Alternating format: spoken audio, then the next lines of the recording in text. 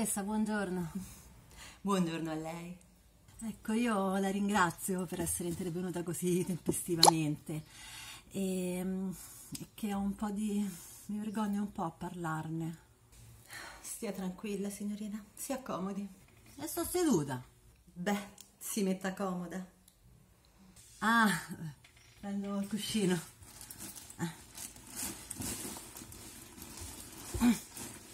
Ah, mo sto proprio comoda. Ma prego, mi dica, cos'è che l'ha spinta a contattarmi?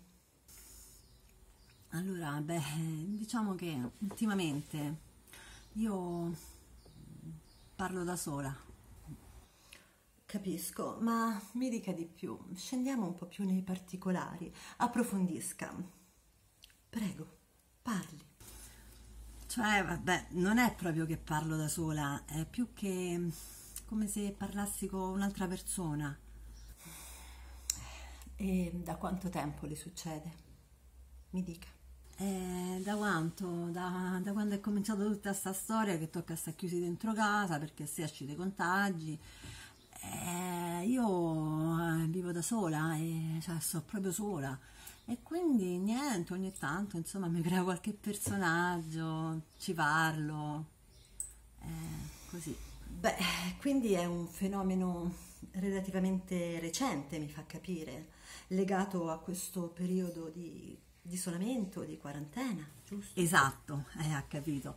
Solo che praticamente, cioè io mm, mi travesto, no? Cioè metto le, le parrucche e mm, cioè, faccio tipo delle scenette con queste persone, però io ci credo veramente. E adesso cioè, ho avuto un momento de, che mi sono detta ma, ma, ma, è vero e non è vero, sta tutto in testa mia. Cioè, mi sta, stanno succedendo delle cose strane, io non mi sono mai comportata così, è la prima volta sono un po' preoccupata, cioè adesso che c'è un po' di lucidità in questo momento, eh, dico ma forse non sto bene. Beh, siamo chiaramente di fronte a un fenomeno di sdoppiamento della personalità, riconducibile, oserei dire, alla sindrome bipolare. Sì, bipolare, sdoppiamento, ma di che? Cioè, sono so, so tanti questi personaggi, cioè non è che uno, capito? Allora sarebbe bipolare, sono so due, no? Bipol di due sai, sono so tanti, sono multipolare, cioè sono proprio tanti, capito? Poi c'è in testa pure altri, no? Che ho altre parrucche, prima o poi li farò, ma appena c'ho un attimo.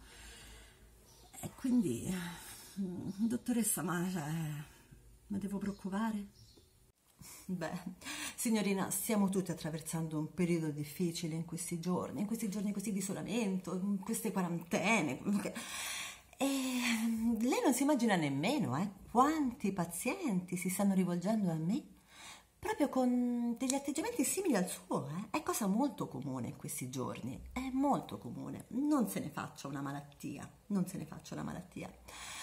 Tra l'altro io mm, noto un certo atteggiamento positivo però in queste sue scenette, questi personaggi che lei vede, con cui parla, che frequenta, magari ci si va anche a prendere un aperitivo, no? Beh, mm, secondo me questo è quasi uno stratagemma inconscio per colmare queste mancanze che eh, le si sono venute a creare così all'improvviso, così repentinamente, senza, senza quasi rendercene conto, siamo piombati in questa realtà quasi parallela, diversa da quella che noi vivevamo ogni giorno. E quindi io mh, mm, credo che su questa sua positività, però, mh, mm, ci, si debba, ci si debba e ci si possa lavorare. Ah, ma quindi sto bene? Beh, è presto per dirlo. Ma mi parli del rapporto con sua madre? Sì, mia madre. pure lei ho fatto, ho fatto pure mia madre. Cioè, praticamente lei stava in cucina che girava il sugo e io stavo andando, stavo uscì per fare la spesa, visto che si uscì solo per fare la spesa eh, con i guanti e la mascherina, una cosetta simpatica così, eh, ho fatto pure mia madre. Pure mia nonna ho fatto, pure nonna. Nonna non c'è più da un po', eh, però ho fatto pure lei. Era come se, cioè, è stato bellissimo perché come se nonna fosse viva, capito?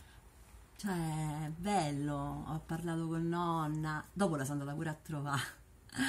Caruccia nonna, comunque, proprio caruccia.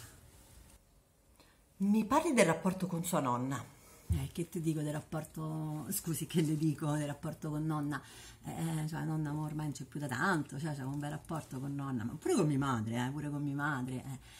E niente, poi sai quello che ho fatto? Ho fatto pure, cioè mi sono immaginata la nostra persona con cui io stavo insieme, marito, compagno, convivente, insomma fidanzato.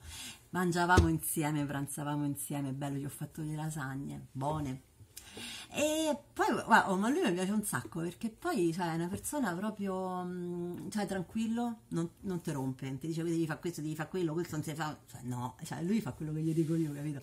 Ho svoltato con questo, cioè proprio l'uomo della vita mia. Beh, signorina, alla luce dei fatti, da quanto lei mi racconta, eh, ritengo alquanto improbabile mm, che io possa continuare a seguirla. E anzi, le consiglio un aiuto più probabilmente più efficace di quanto potrei aiutarla io. E quindi mh, mm, penserei di passare il suo caso alla mia collega, alla dottoressa Cerebrini, dottoressa in psichiatria. Mm, ma stia tranquilla, stia tranquilla eh, perché la dottoressa è qui presente, ci vorrà solamente un momento, se lei attende comunque in linea io gliela chiamo subito mm, e verrà lei a, ad aiutarla. Addirittura. E vabbè. Vabbè, allora aspetto, aspetto qua. Oh, ciao! Ma guarda chi c'è sta! Come stai? Ah, vedi, ti trovo bene, eh? Allora tutto a posto, pure te qua. No, sto a parlare con la psicologa, mo mi passa la psichiatra, dice che non sto... Cioè, prima aveva detto che c'era qualche speranza, ora mi pare che addirittura la psichiatra. Però vabbè, te invece tutto a posto. Ah, stai a a fare una passeggiata, attento, vabbè, ce l'hai la tua certificazione, che se te beccano, ah, eh, se ha fatto attività motoria, eh, io pure la dovrei fare, così, eh, che so pigra, a me va. Vabbè, oh, eccola, eccola, ciao. Signorina, buongiorno. La mia collega mi ha parlato del suo caso e io mm, riterrei opportuno prescrivere dei medicinali. Eh, buongiorno, Ma che sei quella di prima? T'ho riconosciuto, ti sei messa la parrucca pure te. Cioè, ma, ma, ma pure te però stai un po' fuori, eh. Cioè, tu, tu, stai quella di prima te. È che io non ce la faccio più, non ce la faccio più. Io voglio vedere qualcuno, sto sempre chiusa qua dentro, sto sempre chiusa qua, non ce la faccio più, non ce la faccio più. Ma mi parli del rapporto con sua madre?